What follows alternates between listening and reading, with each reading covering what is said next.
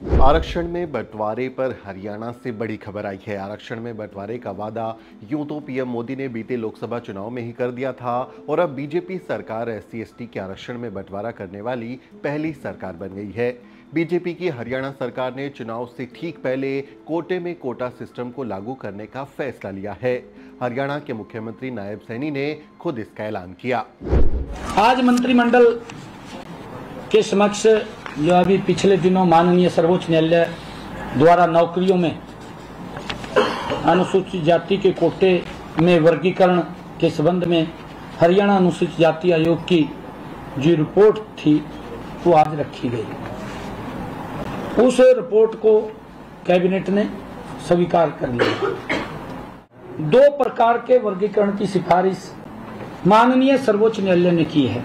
एक अन्य अनुसूचित जाति दूसरा वंचित अनुसूचित जाति। उसके अंदर, जो ऐसी समाज के अंदर गरीब व्यक्ति है, ऐसे लोगों को।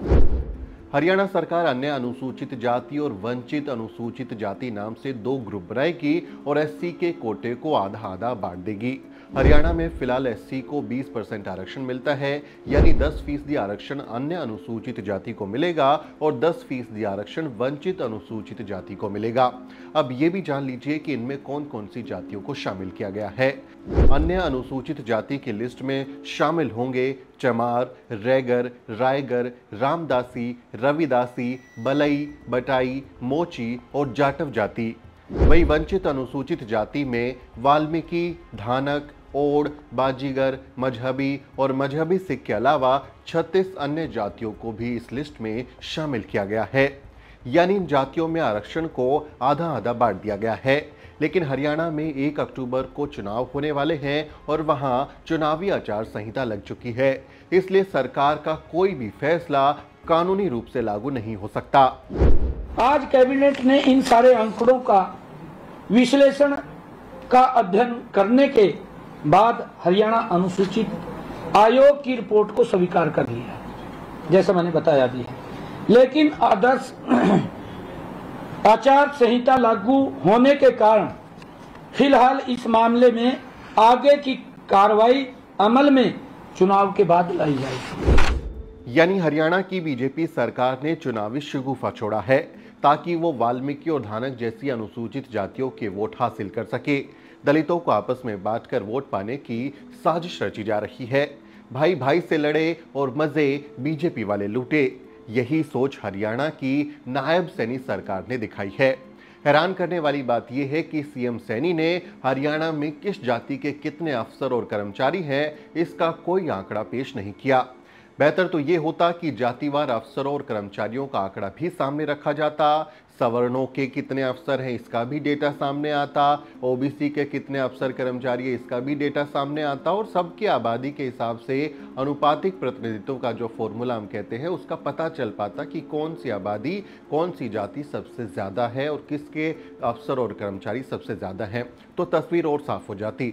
लेकिन बीजेपी वाले बातों की जलेबी बनाने में माहिर हैं और चुनाव से ठीक पहले उन्होंने वाल्मीकि, धानक और मजहबी सिख जैसी जातियों को वोट देने के लालच में ये कि उनका हमको वोट मिल जाएगा, इसलिए इस तरह के बंटवारे को उन्होंने मंजूरी दे दी है। कैबिनेट ने इस पर मुहर लगा दी और कह दिया कि सरकार बनी तो तुम्हें अलग से कोटे के भीतर कोटा देंगे। अभी हमने फैसला ले लिया है, लेकिन आचार संहिता लगी है, इसलिए आप हमें वोट दीजिए, सरकार बनाइए और फिर हम आपको कोटे के भीतर कोटा दे देंगे। हरियाणा के मुख्यमंत्री नायब सैनी को ये सीख खुद पीएम मोदी ने ही दी है। लोकसभा चुनाव में खुद पीएम मोदी ने माला और मदिगा समुदाय के बीच चल रहे विवाद में आग में घी डालते हुए मंच से ऐलान किया था कि वो सत्ता में आए तो आरक्षण में बंटवारा ज़रूर करेंगे। मेरे परिवारजनों, मैं आज बहुत बहुत भावुक हूँ। आप कल्पना करिए, कृष्णा ने तीस साल अपनी जवानी पूरी खपा दी। इतना बड़ा आंदोलन अविरत रूप से चलाया। कृष्णा मेरा छोटा भाई है। आज से आज से इस आंदोलन में कृष्णा मेरा नेता है। मैं उसका असिस्टेंट हूँ और मैं आपके लिए पूरे दायित्व के साथ इस न्याय की लड़ाई में साथ रहूँगा। आप सभी यहाँ आए, हमें आशीर्वाद दिया।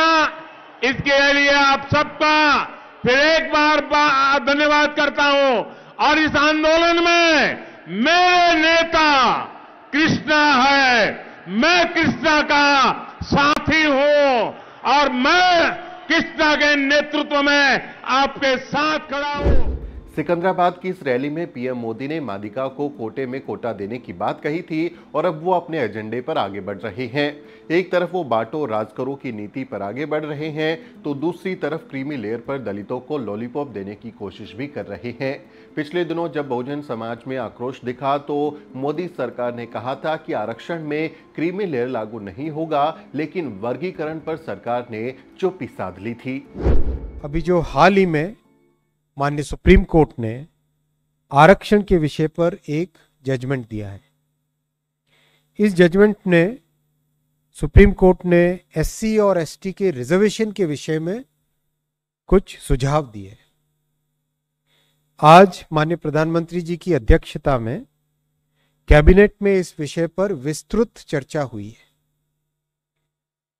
और कैबिनेट का सुविचारित वेल थॉट थ्रू मत है कि एनडीए सरकार बाबा साहेब अंबेडकर जी के बनाए संविधान के प्रावधानों के प्रति प्रतिबद्ध है, संकल्पबद्ध है। बाबा साहेब अंबेडकर जी के संविधान के अनुसार एससी और एसटी के रिजर्वेशन में क्रीमी लेयर का कोई प्रावधान नहीं है। कैबिनेट का सुविचारित मत है वेल थॉट थ्रू डिसीज़न है कि बाबा साहेब अंबेडकर के संविधान के अनुसार ही एससी और एसटी का रिजर्वेशन की व्यवस्था होनी चाहिए। ये साथियों, पाँच बड़े फैसले आपके सामने रखे। I take some questions already it is 950 Prashant. Prashant. हूँ एनडीटीवी से सर। सबसे पहला सर आखिरी में जो आपने बात कही सर एक क्रीमी लेयर का मसला है दूसरा सब कैटेगराइजेशन का भी मसला है सर। आरक्षण के भीतर आरक्षण का। क्या उस पर भी कोई चर्चा हुई कैबिनेट में और क्या फैसला हुआ? जितनी चर्चा हुई मैंने उतना बताया। आप सरकार की चालाकी को समझिए। दोनों हाथों में लड्डू रख रही है। हरियाणा में आरक्षण का बंटवारा कर दिया और दिल्ली में बैठकर क्रीमी लेयर लागू ना करने की बात पर दलितों के गुस्से को थोड़ा ठंडा भी कर दिया। मोदी सरकार शातिर तरीके से काम कर रही है, क्योंकि उसे न चमारों की पड़ी है और न वाल्मीकियों की। उसे न माला समुदाय की पड़ी है और न मादिगा समाज की। उसे सिर्फ़ वोट चाहिए और दलित बहुजनों के आरक्षण पर डाका डालने का मौका चाहिए। आप इस विज्ञापन को देखिए। मोदी सरकार ने लेटरल एंट्री के ज़रिए आईएएस लेवल पर सीधे 45 सवर्णों को भर्ती देने का विज्ञापन जारी किया है, जिन्हें सेक्रेटरी और डायरेक्टर जैसे बड़े पदों पर डायरेक्ट नियुक्त किया जाएगा। इनकी भर्ती के लिए ना कोई परीक्षा होगी और ना कोई मेरिट लिस्ट बनाई जाएगी। सीधे इंटरव्यू के बेस पर सवर्णों को 100 फ़ीसदी आरक्षण दे दिया जाएगा।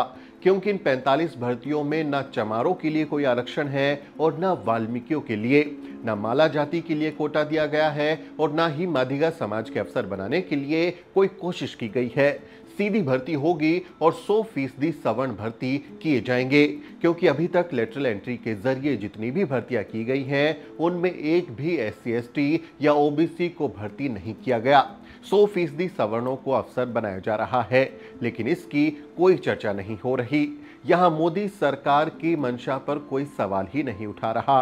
कोई पूछ नहीं रहा कि मोदी सरकार जो है, वो ऐसा क्यों कर रही है? क्योंकि मोदी सरकार तो ये दावा कर रही है कि यहाँ पर वो प्रतिनिधित्व देना चाहती है। वो इन जातियों को बता रही है, लेकिन जब खुद ऐसे विज्ञापन ला रही है तो उसमें कोई इस बात की चिंता वो नहीं कर रही। यहाँ मोदी सरकार को दलितों में भी महादलित कही जाने वाली जातियों की कोई चिंता नहीं है। या उन्हें हकमारी नज़र नहीं आ रही, बस सारा ठीकरा आरक्षण पर फोड़ा जा रहा है और भाई को भाई से लड़ाकर कहा जा रहा है कि देखो, तुम्हारा आरक्षण तो इस जाति के लोग खा गए। शास्त्रों में इसे ही सियासत कहा गया है। इस बारे में आप क्या सोचते हैं? आपकी क्या राय है? कमेंट करके ज़रूर बताएँ। आपसे अपील है कि वीडियो को शेयर करें और द न्यूज़ बीक को सब्सक्राइब करना ना भूलें। वीडियो के अंत में आपसे एक छोटी सी अपील। साथियों, अगर आपको द न्यूज़ बीक का काम पसंद है और आप चाहते हैं कि हम यूँ ही अम्बेडकरवादी पत्रकारिता करते रहें तो हमारी आर्थिक मदद ज़रूर करें। आप अपनी स्क्रीन पर दिखाई दे रहे इस क्यूआर कोड को स्कैन करें और न्यूज़ बीक फाउंडेशन के खाते में अपनी दान की राशि भेजें।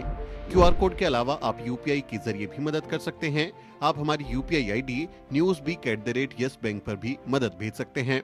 इसके अलावा आप हमारे अकाउंट में भी मदद भेज सकते हैं। खाते का नाम है News Beak Foundation. Account number है zero two three five double eight seven double zero double zero zero six four zero I F S C code है yes B double zero double zero two three five bank का नाम yes bank है और branch है Nehru palace Delhi आप donation के एवज में इनकम टैक्स में भी छूट पा सकते हैं। डोनेशन की रसीद पाने के लिए ट्रांजैक्शन का स्क्रीनशॉट हमें भेजें। टाइप करें डोनेशन स्पेस आपका नाम और हमें eight five nine five seven nine four two two four पर व्हाट्सएप करें।